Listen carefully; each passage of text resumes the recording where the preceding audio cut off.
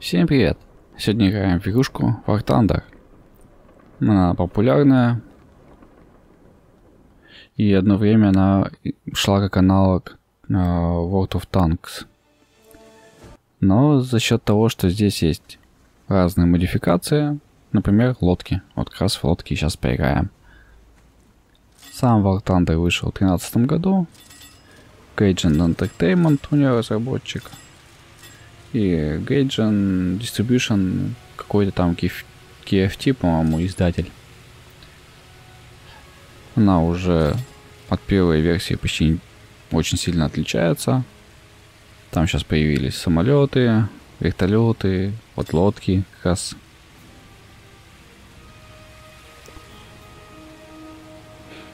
Так что немножко попытаемся на лодочках. Это чисто морские бои будут. Ну, поиграем немного, просто разберемся, что за лодки. Может понравится, буду потом еще играть. А может нет.